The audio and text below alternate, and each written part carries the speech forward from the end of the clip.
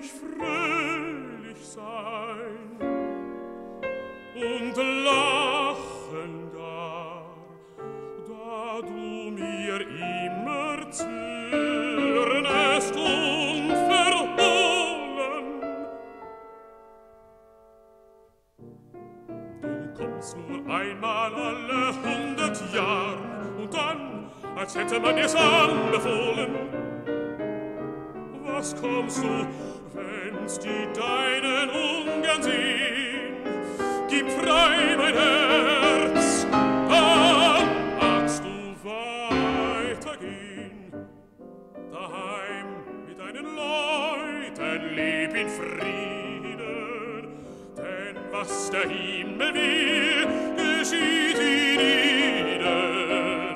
Halt Frieden mit den Deinigen zu Hause.